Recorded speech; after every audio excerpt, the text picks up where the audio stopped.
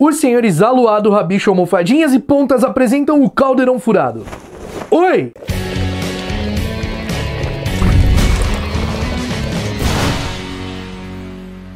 Fala aí, bruxões, beleza? Chegou agora aqui no Caldeirão Furado? Não sabe o que, que tá acontecendo? Deixa de ser trouxa e se inscreva aqui embaixo, ó, nesse botão vermelho, é de graça, e ativa as notificações aqui do lado para você receber os vídeos assim que eles são postados. Mas é importante que você ative mesmo para receber real os vídeos. Você também pode se tornar um membro aqui do Caldeirão Furado por apenas R$ 6,99 mensais. Você tem direito a selos que vão ao lado do seu nome e vão mudando gradativamente de acordo com o tempo que você é membro, emojis exclusivos para você usar tanto nos chats, nas lives, como nos comentários comentários dos vídeos e alguns spoilers e posts exclusivos que eu vou colocando aqui para quem é membro. Você também pode contribuir com as produções aqui do Caldeirão Furado através do botão Valeu. Assim, você dá uma quantia entre essas disponíveis que aparecem aqui e o seu comentário fica em destaque, beleza? E se você não conseguir ajudar dessa forma, é só você deixar seu like no episódio que já faz toda a diferença. E meu bruxo, se você quiser mandar uma cartinha, um presentinho, uma lembrancinha aqui pro Caldeirão Furado, nós abrimos uma caixa postal. O nome da caixa postal é Kaique Cardápio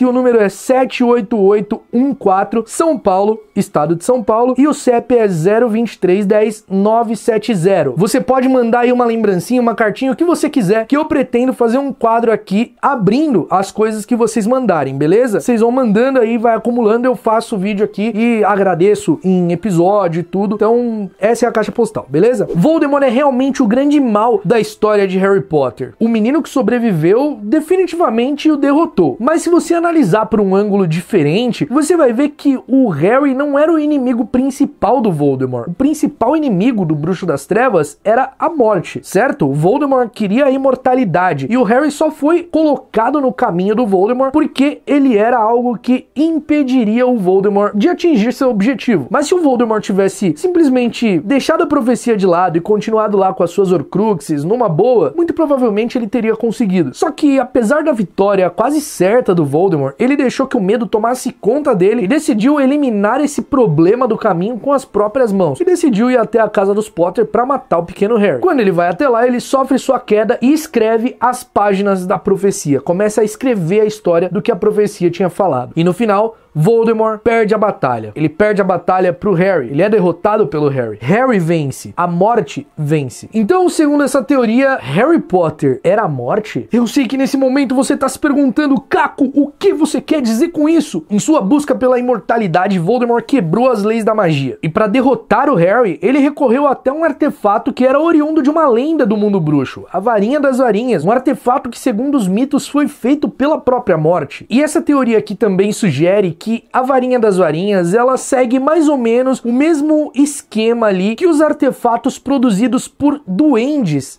seguem. Por exemplo, um artefato feito por um duende, como a espada de Godric Gryffindor, pode ser comprada por um bruxo. Na realidade, a espada de Godric foi encomendada pelo Godric, só que, segundo a lei dos duendes, ali a ideologia dos duendes, depois que o seu dono morre, que o bruxo que comprou, que pagou pela espada, morre, essa espada tem que voltar para os duendes, que é propriedade dos duendes, que é como se fosse um aluguel ali. O bruxo fica com ela a vida inteira, morre, ela tem que ser devolvida. E quando esse artefato não é devolvido, os duendes consideram como roubo. Então a varinha das varinhas segue mais ou menos esse esquema. Por isso que, segundo a teoria, ela não teria funcionado direito com nenhum de seus mestres até chegar em Harry Potter. Então vamos recapitular aqui. A varinha das varinhas foi dada pela própria morte por Antioch Peverell, o irmão mais velho. Depois disso, Antioch foi até um bar, se gabou da invencibilidade da varinha e assassinou um outro bruxo com quem ele tinha uma vingança ali, com quem ele tinha uma rixa. As pessoas ficaram impressionadas e e aí, tomado por inveja, uma pessoa foi lá, cortou a garganta do Antíoco enquanto ele dormia e roubou sua varinha. E a varinha foi descrevendo uma trajetória sangrenta de mão em mão através de centenas e centenas de anos. Até que chegou no Harry, o único que dá para ter certeza que foi realmente o mestre da varinha. Especialmente porque foi usando essa varinha que ele conseguiu consertar a sua varinha de pena de fênix que havia sido quebrada. E segundo a teoria, essa é a única coisa notável que nós vimos a varinha das varinhas fazer, porque com outros bruxos ela sempre simplesmente era uma varinha comum. O Voldemort até discute a ideia disso com o Snape. Ele afirma que não sentiu diferença alguma possuindo a varinha das varinhas, que não tinha visto nada do que as lendas prometiam. E aí o Snape diz a ele que ele tinha feito magia extraordinária e o Voldemort corrige, dizendo que ele era extraordinário, que a magia que ele tinha feito com a varinha ele teria feito com qualquer uma. O próprio Dumbledore, que foi um dos mestres da varinha, afirma também que ele conseguiu a varinha depois de derrotar o Grindelwald, que o Grindelwald possuía a varinha das varinhas e aí, depois de derrotar e prendê-lo, ele possuiu a varinha e se tornou o mestre dela. O Dumbledore até usa a varinha das varinhas num duelo contra o Voldemort, lá no Ministério da Magia, em Ordem da Fênix, e o Voldemort escapa, sobrevive. Outro exemplo que a teoria cita é o próprio Grindelwald, como ele foi derrotado possuindo a varinha das varinhas. A razão para isso seria que nenhum deles era o dono verdadeiro da varinha. Então, se o Harry foi o único que demonstrou uma magia eficaz e além do comum com a varinha, e se a varinha segue essa mesma linha dos duendes de retornar para o dono depois que o, o dono secundário morreu, que no caso seria o Antioch, então o Harry seria a morte? Também existe uma teoria que fala que o próprio Dumbledore é a morte, já que é ele que distribui as relíquias da morte, ele entrega a capa pro Harry, ele acaba entregando a pedra em um momento ali pro Snape, quando ele destrói o anel e mostra pro Snape o que que era, o Snape não fica com posse da pedra, mas assim, ele fica com ela momentaneamente ali na mão, e é ele quem entrega, entre muitas aspas, né, que ele foi roubado, a varinha pro Voldemort, quando ele tá no túmulo ali. E quando o Harry morre atacado na floresta,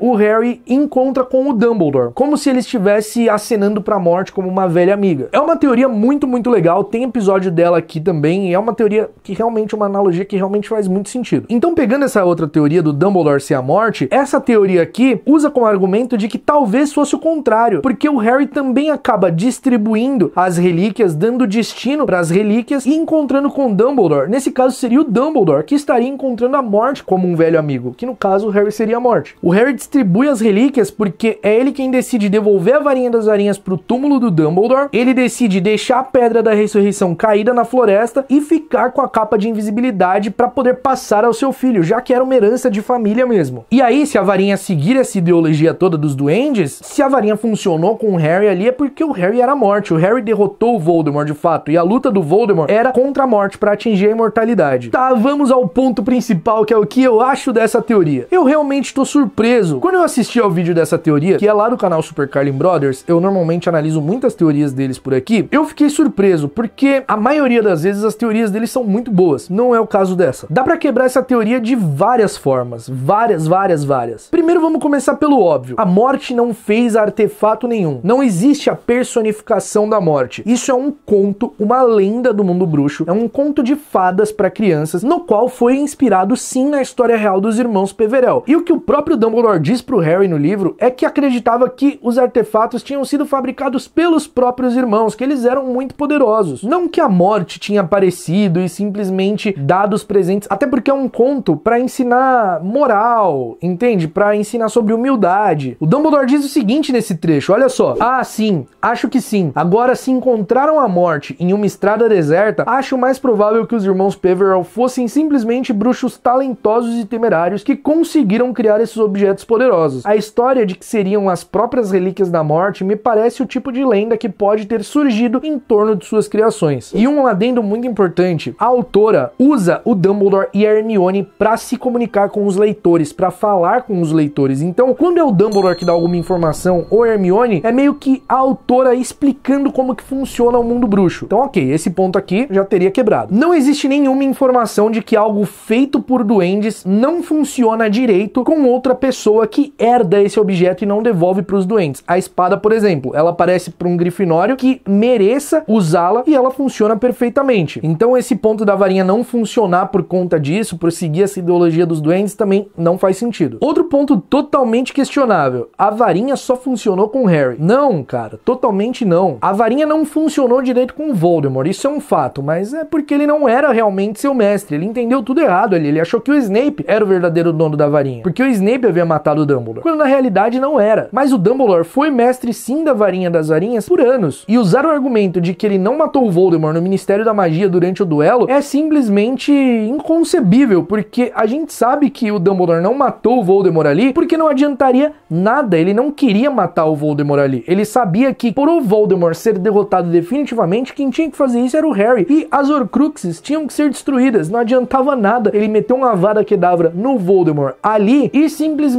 o que ia acontecer? O corpo do Voldemort poderia ser destruído, ele poderia morrer ali, mas a alma dele ficaria presa na Terra com as Horcruxes e ele voltaria novamente. Além disso, o mundo bruxo não veria que o Voldemort retornou, que era o que o Dumbledore queria mostrar, que o Voldemort tinha retornado, e o Ministério da Magia não acreditava nisso. Então usar isso como argumento já não faz muito sentido para mim. Outro ponto da teoria é que afirma que só o Harry fez algo incrível com a varinha, né, que foi consertar sua própria varinha. Bom, vocês lembram do Hagrid, aquele meio gigante que vai buscar o Harry e que tem a varinha dele escondida dentro de um guarda-chuva? Pois é, não é à toa que o Hagrid tem a varinha escondida ali. É porque ele não pode ter uma varinha, porque ele foi expulso no seu terceiro ano e sua varinha foi quebrada. E é muito provável que o Dumbledore, usando a varinha das varinhas quando ele conseguiu lá em 1945, tenha consertado os pedaços da varinha do Hagrid e escondeu nesse guarda-chuva, disfarçando ali de guarda-chuva para ele. Praticamente a mesma coisa que o Harry fez com a varinha. Isso aqui não é confirmado, tá? Mas é muito provável de que tenha acontecido. Então, se vocês não quiserem usar como um ponto contra a teoria, não precisa usar, mas eu tô apresentando aqui de qualquer forma. Sobre o Grindelwald ser derrotado sendo o mestre da varinha. Meus bruxos, a varinha não torna ninguém invencível. Se fosse assim, ela teria só um dono para sempre. Ela não teria uma história sangrenta de passar de dono para dono que foi derrotado. Além do mais, o próprio Olivaras diz, as varinhas são misteriosas. Ninguém sabe ao certo, mas um fato é, a varinha escolhe o bruxo. Se naquela ocasião o Dumbledore conseguiu subjugar o Grindelwald, mesmo ele estando com a varinha das varinhas, ela identificou que o Dumbledore era o mais forte e ele se tornou seu mestre. E nem precisa ser a varinha das varinhas para isso, porque isso acontece com a varinha do Draco quando o Harry desarma ele. O Harry desarma a varinha comum do Draco e a varinha passa a responder ao Harry. Não existe varinha invencível. A varinha das varinhas é realmente muito poderosa, mas não é invencível. Agora, o ponto mais bizarro da teoria para mim é como o Harry seria a morte, cara. O que teria a ver? Porque o Harry, tipo, tem que ter alguma ligação, alguma explicação para isso. Tudo bem que talvez não seja literal, literal mesmo não tem como ser. Como que o Harry seria a morte se a morte existe desde o início da vida? Como que o Harry seria a morte? Literalmente não tem como. Metaforicamente, talvez, forçando bastante, dá para encaixar. Ou talvez nem dê também. Diferente da teoria lá do Dumbledore, que o Dumbledore é a metáfora da morte e tal, que faz muito sentido, aqui nesse ponto não faz sentido o Harry ser metaforicamente a morte. Ser o verdadeiro dono, sabe, da, da varinha, porque a varinha segue a ideologia dos doentes. Não faz sentido algum. Por que o Harry seria metaforicamente a morte? Por quê? A teoria tem que falar o porquê. Por que, que o Harry é metaforicamente a morte? E não fala, não, porque não tem um motivo. Porque ele derrotou o Voldemort? Ok. E aí? Essa teoria aqui eu realmente achei bem, bem, bem fraca. Claro que maior respeito aí pelos criadores da teoria, assim como a teoria dos Sirius que eu falei que era bem ruim, maior respeito também por quem criou a teoria. Mas o que eu tô fazendo aqui é analisando a teoria, beleza? Nada contra quem criou, não é nada disso. Eu também